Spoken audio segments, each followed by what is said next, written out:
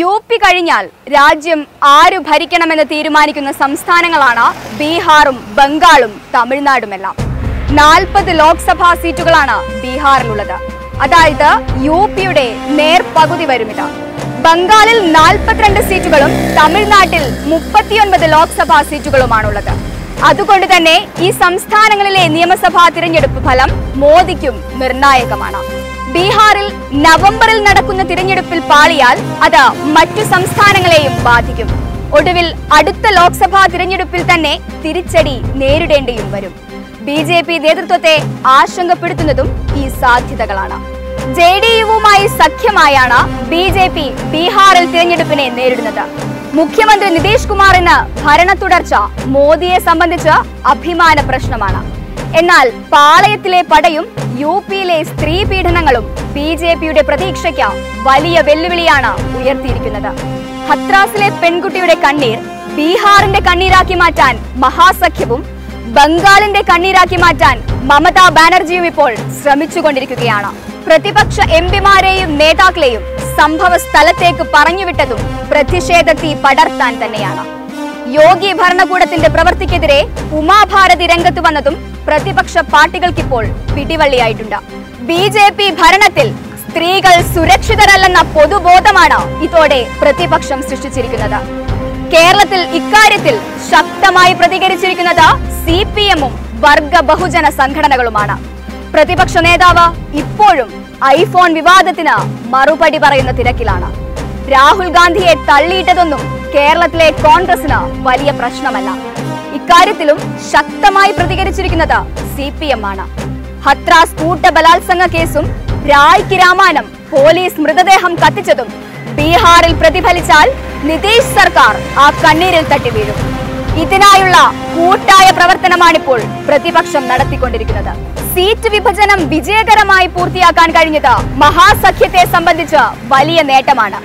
ആകെയുള്ള ഇരുന്നൂറ്റി നാൽപ്പത്തി മൂന്ന് സീറ്റുകളിൽ പ്രധാന പ്രതിപക്ഷ പാർട്ടിയായ ആർ ജെ ഡിക്കായി നീക്കിവെച്ചിരിക്കുന്നത് നൂറ്റി മുപ്പത്തിയെട്ട് സീറ്റുകളാണ്. മുകേഷ് സാനിയുടെ വികാസ്ശീൽ ഇൻസാൻ പാർട്ടിക്ക് ആർ ജെ ഡി അവരുടെ അക്കൗണ്ടിൽ നിന്ന് ആറു സീറ്റുകളും ജെ എമ്മിന് രണ്ട് സീറ്റുകളും നീക്കിവെച്ചിട്ടുണ്ട്. ധാരണാപ്രകാരം കോൺഗ്രസ് അറുപത്തിയെട്ട് സീറ്റുകളിലാണ് മത്സരിക്കുക. C P M C P I C P I M L എന്നീ മൂന്ന് ഇടതു പാർട്ടികൾക്കായി മുപ്പത് സീറ്റുകളാണ് മഹാസഖ്യം നൽകിയിരിക്കുന്നത്.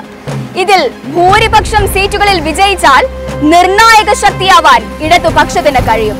അതേസമയം എൻ ഡി എയിലെ സ്ഥിതി വ്യത്യസ്തമാണ്. രൂക്ഷമായ ഭിന്നതയാണ് ആ മുന്നണിയിൽ രൂപപ്പെട്ടിരിക്കുന്നത്. മുഖ്യമന്ത്രി നിതീഷ് കുമാറുമായുള്ള ഭിന്നതയെ തുടർന്ന് ബീഹാർ നിയമസഭാ തിരഞ്ഞെടുപ്പിൽ തനിച്ച് മത്സരിക്കുമെന്ന് പ്രഖ്യാപിച്ചിരിക്കുകയാണ് ലോക് ജനശക്തി പാർട്ടി. നൂറ്റി നാൽപ്പത്തിമൂന്ന് സീറ്റുകളിൽ ഒറ്റയ്ക്ക് മത്സരിക്കാനാണ് എൽ ജെ പിയുടെ നീക്കം.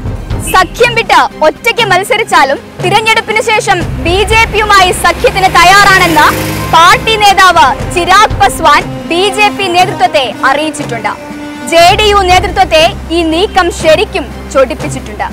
തർക്കം പരിഹരിച്ച എൽ ജെ പിയുമായി ഒടുവിൽ ധാരണയുണ്ടാക്കിയാൽ പോലും പരസ്പരം കാലുവാരൽ നടക്കുമെന്നതാണ് നിലവിലെ സ്ഥിതി. ഇരു പാർട്ടികളും തമ്മിലുള്ള ഭിന്നതയിൽ ബി കേന്ദ്ര നേതൃത്വവും ഇടപെട്ടിട്ടുണ്ട്. എൽ ജെ പി ഒറ്റയ്ക്ക് മത്സരിക്കുന്ന അവസ്ഥ ഉണ്ടാകരുതെന്നാണ് പ്രധാനമന്ത്രി മോദിയും ആഗ്രഹിക്കുന്നത്. പ്രതിപക്ഷം ഇത്തവണ കൂടുതൽ ശക്തമായതിനാൽ കരുതലോടെ നീങ്ങാനാണ് അദ്ദേഹത്തിന്റെ ഉപദേശം. ബീഹാറിൽ ഭരണം തെറിച്ചാൽ അത് കേന്ദ്ര സർക്കാരിനെതിരായ വിധിയെഴുത്തായാണ് ചിത്രീകരിക്കപ്പെടുക. ബംഗാളിലെ കാവിപ്പടയുടെ സ്വപ്നത്തെയും ഇത്തരമൊരു തിരിച്ചടി സാരമായി ബാധിക്കും. രാജ്യത്തെ പ്രതിപക്ഷ പാർട്ടികൾക്കാകെ പുത്തൻ ഉണർവ് നൽകുന്ന ഒരു വിജയം ബീഹാറിൽ ആർ എസ് എസ് നേതൃത്വവും ആഗ്രഹിക്കുന്നില്ല. അതുകൊണ്ട് തന്നെ ശക്തമായ ഇടപെടൽ നടത്താനാണ് പരിവാർ നേതൃത്വവും ബി ജെ പി കേന്ദ്ര നേതൃത്വത്തോട് ആവശ്യപ്പെട്ടിരിക്കുന്നത്. ഹത്രാസിലെ പോലീസ് നടപടിയിൽ സംഘപരിവാർ തലപ്പത്ത് തന്നെ ഇപ്പോൾ കടുത്ത അതൃപ്തിയുണ്ട്. യോഗി ആദിത്യനാഥിന്റെ ഭരണത്തിനെതിരെ പ്രതിഷേധം ശക്തമാകുന്നതിൽ തനിക്കുള്ള ആശങ്ക പ്രധാനമന്ത്രി തന്നെ ആർ എസ് എസ് നേതൃത്വത്തെ അറിയിച്ചിട്ടുമുണ്ട്. ബീഹാർ കൈവിട്ടാൽ യു പിയിൽ യോഗിയുടെ നിലയും അതോടെ പരുങ്ങലിലാകും. രണ്ടായിരത്തി ഇരുപത്തിരണ്ടിലാണ് യു പി നിയമസഭാ തിരഞ്ഞെടുപ്പ് നടക്കാനിരിക്കുന്നത്. യോഗിയെ വെച്ച വീണ്ടും ഒരു പരീക്ഷണത്തിന് ബി ജെ പി തയ്യാറാകുമോ എന്നതും കണ്ടറിയേണ്ട കാര്യം തന്നെയാണ്.